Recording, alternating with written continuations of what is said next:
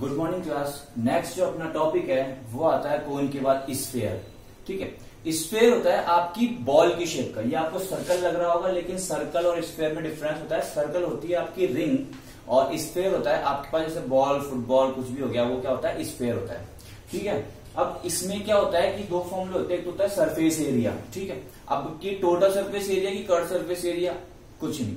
दोनों एक होते हैं इसमें। ना कोई टोटल होता, ना कोई कर्व होता। क्योंकि जब बॉल होती है तो बॉल का ना कोई कर्व हो ही नहीं सकता। आप खुद दिमाग लगाओ, कैसे हो सकता है? उसमें कोई चारों दीवारें हो ही सकती, वो हर तरह से सेम होता है। इसलिए उसका सरफेस एरिया होता है केवल, वो होता है फोर पाई आर स्क्वायर और उसका वॉल्यूम होता है four upon three pi R cube R यहाँ पे क्या होती है? रेडियस ठीक है? अब ये तो हो गया आपके पास स्फेयर अब आता है स्फेयर के बाद आपके पास एक नया टॉपिक हेमिस्फेयर ठीक है? हेमिस्फेयर में क्या होता है देखो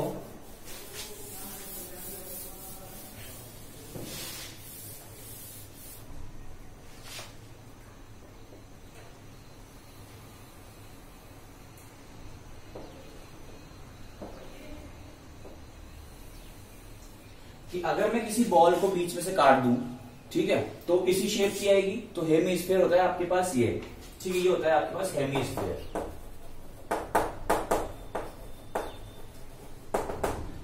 आप इसको हेमी स्पेयर या सेमी स्पेयर भी बोल सकते हैं। अब इसमें भी फॉर्मूले होते हैं, इसमें फ़र्स्ट फॉर्मूला होता है कर्व सरफेस एरिया का।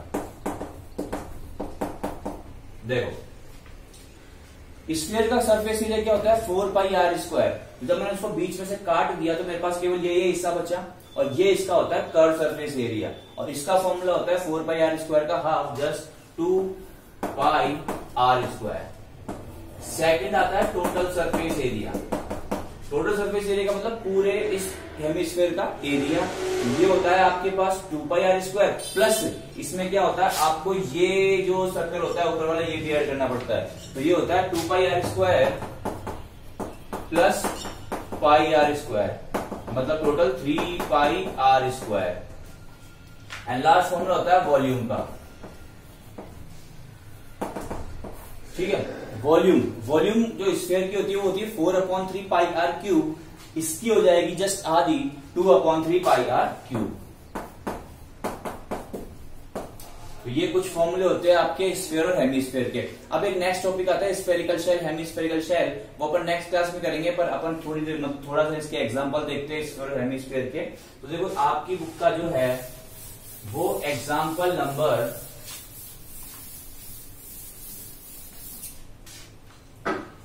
ट्वेल्व कह रहा है कि find the surface area of the sphere of radius seven centimetre एक स्पेयर है जिसका सरफेस एरिया फाइंड करना है और रेडियस आपको दे रखी है seven centimetre example number twelve sphere की बात कर रहा है रेडियस दे रखी है सेवन सेंटीमीटर ठीक है, और आपसे क्या पूछा सरफेस एरिया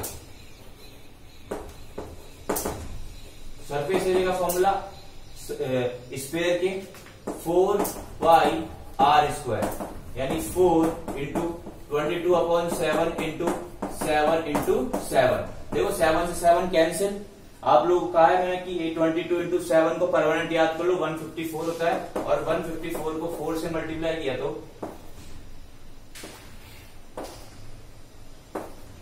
आएगा six one six centimetre square ठीक है? ये आपके पास जो है, इसके इजी इजी क्वेश्चन हैं और देखते हैं अपन नेक्स्ट एग्जांपल जैसे आपकी बुक का एग्ज़ाम्पल नंबर फोर्टीन देखते हैं अपन। कि a spherical ball of lead has a radius of five centimetre एक स्फेरिकल बॉल है लेड की, जिसकी रेडियस है five centimetre how many lead balls of five millimetre can be formed तो उस फाइव सेंटीमीटर की लेड की रेडियस वाली लेड की बॉल से फाइव मिलीमीटर की मैं कितनी बॉल्स छोटी छोटी बना सकता हूँ? ठीक है? देखो, आपको यहाँ बोला है कि आपके पास फाइव सेंटीमीटर की एक लेड की बॉल है। उस लेड की बॉल से आपको छोटी छोटी फाइव मिलीमीटर की जो है बॉल्स बनानी है। तो सबसे पहले आप लोगों ने लिखा example number fourteen let radius of lead ball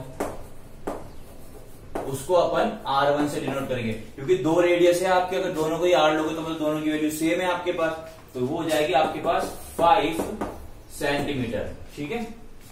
और जो दूसरी रेडियस है let radius of small lead balls equals to five millimetre ठीक, अब आपको क्वेश्चन में क्या कह रहा है कि इस लेड की बॉल से मैं कितनी बॉल छोटी छोटी बना सकता हूँ? ठीक है फाइव सेंटीमीटर फाइव मिलीमीटर की। तो देखो, अब यहाँ पे आपके पास ये सेंटीमीटर में दे रखा है, ये मिलीमीटर में दे रखा है। आपके पास दो ऑप्शन है, या तो इसको मिलीमीटर में चेंज कर दो, या इसको सेंटीमीटर में चेंज कर दो। तो देखो, अगर इसको मिलीमीटर में चेंज करना है तो इसको टेन से मल्टीप्लाई कर दो, और अगर इसको सेंटीमीटर में चेंज करना है तो इसको टेन से डिवाइड कर दो। इसको टेन से डिवाइड करूँगा पॉइंटों में आएगा। इससे अच्छा है, मैं इसको टेन से मल्टीप्लाई कर दूँगा तो आ जाएगी आपकी फिफ्टी मिलीमीटर अब आपको number of small lead balls निकालनी है। Number of small lead balls. क्या?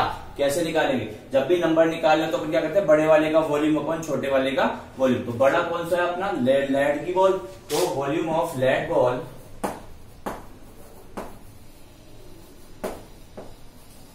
upon volume of small lead ball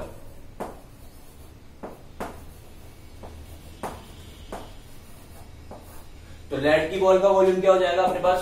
Four upon three pi R one cube upon इसका क्या हो जाएगा छोटी वाली का? ये भी स्फेरिकल की है four upon three pi R two cube four upon three से फोर अपॉन थ्री पाई से पाई गया। तो क्या बचा आपके पास? R one cube upon R two cube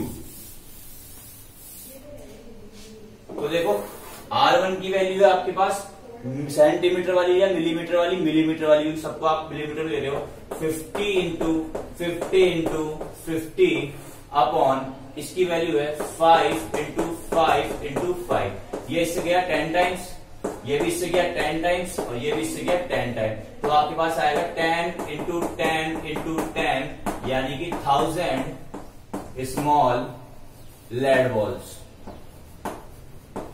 ये आपके पास आंसर आएगा। तो ऐसे इजी इजी क्वेश्चन है। देखो, एक और एग्जांपल करते हैं। नेक्स्ट एग्जांपल नंबर जो है example number 16 the surface area of two spherical ball is four ratio nine आपके पास दो स्फेरिकल बॉल्स है जिनके सरफेस एरियाज़ का रेशियो दे रखा है। ठीक है? Find the ratio of their volumes तो उनके वॉल्यूम्स का रेशियो फाइंड करो। देखो, कैसे करेंगे।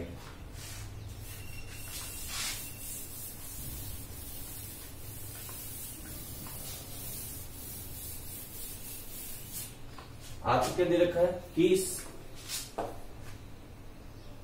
surface area first upon surface area second इनका रेशियो दे रखा है फोर रेशियो नाइन तो इनके वॉल्यूम का रेशियो आपको बताना है। तो देखो सरफेस एरिया का फॉर्मूला क्या होता है? स्पेयर के फोर पाई अगर दो आपके पास स्फेयर है तो एक की रेडियस आप आर वन मान लो अपॉन फोर पाई दूसरा एक रेडियस आर टू मान लो, जो कितना दे रखा है आपको? फोर अपॉन नाइन ये फोर से फोर गया पाई से पाई गया तो ये आपके पास आ गया R one upon R two का square equal to four upon nine ठीक है, अब इधर से स्क्वायर हटा दो तो उधर क्या चल जाएगा? अंडर रूट तो R one upon R two equal to four upon nine का under root then R one upon R two equal to two upon three आपके पास क्या बचेगा? R one upon R two आ गया। लेकिन आपको R one upon R two ना find करके वॉल्यूम्स का रेशियो फाइंड करना है। तो now volume one upon volume second ठीक है? रेशियो वॉल्यूम का formula four upon three pi R one cube pi R one cube upon four upon three pi R two cube pi से pi गया, four upon three, four upon three गया। तो आपके पास आया R one cube upon R two cube R one upon R two आपके पास to upon three है। तो आप सकते हो टू अपॉन थ्री का क्यूब यानी एट अपॉन ट्वेंटी सेवन यानी एट रेशियो ट्वेंटी सेवन आपके पास इसका आंसर आ जाएगा। अब जो नेक्स्ट है स्फेरिकल से शेल और कुछ आपके पास एग्जांपल्स है, वो अपन नेक्स्ट क्लास में करेंगे। Thank you class